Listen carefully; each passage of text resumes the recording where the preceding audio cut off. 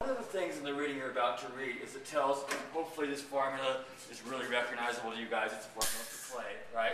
By the way. The, um, the reading says clay has 6 H2O, which is incorrect. Clay has 2 H2Os, as you guys know. There are clays with more waters in the molecule. We haven't learned about them. Like bentonite is a clay that's got more water in the molecule. But it's bentonite is one of those clays that's so plastic that you can't really use it. It's like when you mix it up, it's like snot. It's really slimy. It's so, So plastic. basically just for molds? It's for they add it to glazes to make the glazes flow better and stay in solution. But it's too plastic to be a, a useful clay. Anyway, this is the formula for clay, and what you're going to read about is clay comes from igneous rock. From, you guys know from volcanic rock. What I want to add to that is specifically clay comes from feldspathic rock. It typically comes from feldspars. And we're not learning about feldspars today, specifically what kind of igneous rock does it come from? Feldspathic rock or feldspars. Okay, there's a whole. So it comes from the, oh, I wrote it up there. Uh-huh. It comes from the breakdown, both physical, like the rock above the clay wearing it down, and chemically, so being heated and heated in the presence of water. It comes from that physical and chemical breakdown forms clay, right? And it takes a long time for that to happen. Well, primary clay is clay that, that lives where it was formed, like it's right under the volcano where it was formed. Or if it's formed from lava that the volcano shot out, it's right there, it has never been moved, okay? So it's buried under tons of other rock. Eventually, that rock is worn away, the clay is at the surface, it sometimes, sometimes it's buried. So it's primary clay. Primary clay, the main primary clay is kaolin. This is actually the formula for pure kaolin. Okay?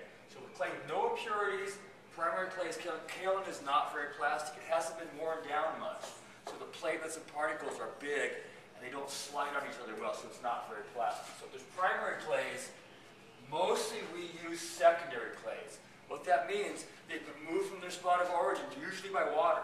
So the water moves them sometimes a long, long ways, and it wears down the platelets. It physically grinds them down, so the platelets are fine and smooth, and they slide on each other. And those clays are typically from somewhat plastic to very, very plastic. In secondary clays, you're going to read about ball clays are super plastic. Okay, it's what it's what we use to make clays plastic. Fire clays are different. They're really sturdy clays. They have platelets of varying sizes. Some platelets are big and round in fire clays. Some platelets are smooth and flat. So fire clays have like a medium plasticity or less plasticity, but they add to clays because they're real resistant to thermal shock. So if you add a fire clay to your clay body, it's probably not going to crack a lot. It'll probably be a sturdy, resilient, really impure. Usually that's iron. That impurity makes, makes the clay more plastic. Surface clays have been worn down a lot. They're plastic, they're impure, they're typically red, uh, red or red brown. They're a kind of clay. So two main kinds of clays, primary and secondary. As it turns out, really all the clays we use are clay bodies. They're mixtures of clays. Okay? So they'll have some primary clay, sometimes a combination of secondary clay. Our stoneware body that we use, our main stoneware bodies, are some kaolin to give it body, some ball clay to make it plastic, and some fire clay to keep it from cracking. With a filler, the filler can be sand, or do you guys know what grog is? Grog is ground fired clay. It's essentially ground bisqueware. And they use that as a, a really often place. And then sometimes a flux. Sometimes if you have a lot of fire clay, or even sometimes a lot of really pure kaolin, the vitrification temperature is such a high point that your clay won't vitrify. So they add a little bit of a flux, typically a feldspar or something to that, to make it flux down. So a clay body is just a mixture of clays that we use to get the qualities we want. So how much sand we want, how much ball clay, how much kaolin. It's a mixture of clays that gives us our clay. Okay, the good clays that we actually use. Having said that, there are three main kinds of ceramics, or you could say clay bodies. There's earthenware. This is earthenware. It's, it's not very strong. It's usually kind of reddish brown. It's easily chipped. It never fully vitrifies. This is as vitrified as this gets. If this didn't have a plug in it, I dipped it in water, the water would seep out?